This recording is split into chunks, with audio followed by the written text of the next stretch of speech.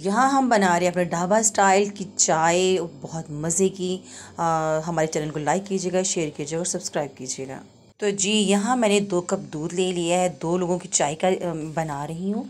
तो दूध हमने डाल लिया है और दूध में जब तक बॉयल आएगा तो अब हम इसमें पत्ती और चीनी डालेंगे। तो ये बड़ी मज़े की कड़क चाय हम तैयार कर रहे हैं। तो यहाँ हम इस दूध को बॉयल आने देंगे। यहाँ हमारा जो दूध है आ, वो गर्म हो गया अब इसमें हम डाल देंगे पत्ती अपनी।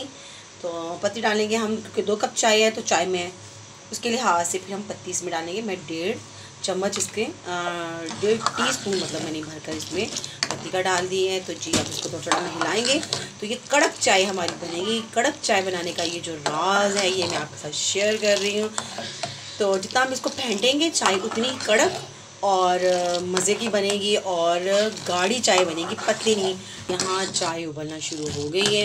इसको हम फेंटते जाएँगे थोड़ा। और इसके साथ मैं डाल दूँगी अब इसके अंदर चीनी तो चीनी मैं डालूँगी इसके अंदर। फोर चम्मच मैं इसमें चीनी का डाल दूँगी, क्योंकि दो कप चाय है दिए और चाय है हमारी उबल रही है और अच्छे से हम इसको हम इस तरीके से इसको फेंटते जाएँगे।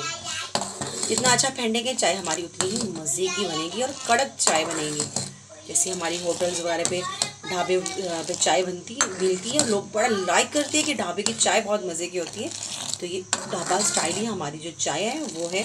इसमें चाहे तो आप इलायची पसंद करते हो तो वो डाल दें, अदरक पसंद करते हो तो वो डाल दें, लेकिन मुझे मॉर्निंग में सिंपल चाय ही पीना ही पसंद है। और इसी तरीके से आप भी चाय बनाया करें, बहुत मज़े की और अच्छी चाय बनती है। यहाँ देखिए चाय बस मेरी आपकी रेडी और मैं इसको डाल दूँगी अपने तैयार हो गई है और कितनी मज़े की लग रही है और ये ज़बरदस्त जो हमारी जो कप है उसमें हमारी चाय जो हो गई रेडी और अब हम पीएँगे चाय अपनी।